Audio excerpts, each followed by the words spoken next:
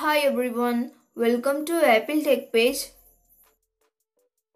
Many iPhone users have been reporting that their iPhone stuck on data transfer cancel when they're transferring data from their old iPhone to new one.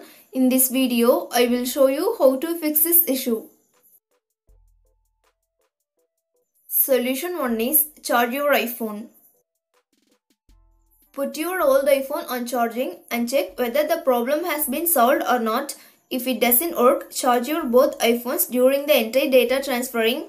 Make sure that your both devices are close to each other while transferring. Solution 2 is turn off low power mode on your old iPhone. To do this, go to settings app. Find and tap on battery. Now turn off low power mode if it's turned on. Solution 3 is insert the SIM card on your new iPhone. If you didn't insert the SIM card on your new iPhone, insert it before the transfer. It should be active one. Solution 4 is restart your iPhone. To do this, go to settings app. Then scroll down and tap on general. Next, tap on shutdown. Now drag the slide to power off slider to turn off your iPhone. Then wait for few seconds and turn on your iPhone.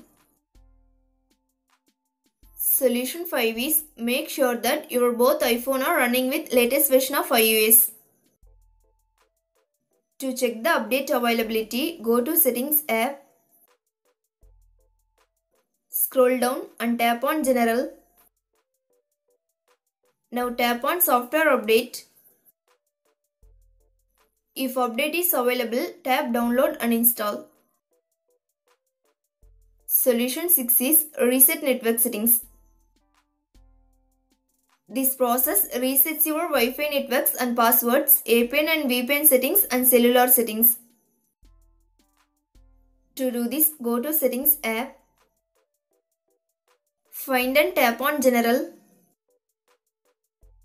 Now scroll down to bottom and tap on reset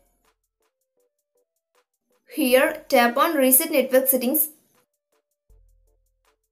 Next, enter the passcode of your iPhone. In the pop-up window, tap Reset Network Settings to confirm this process.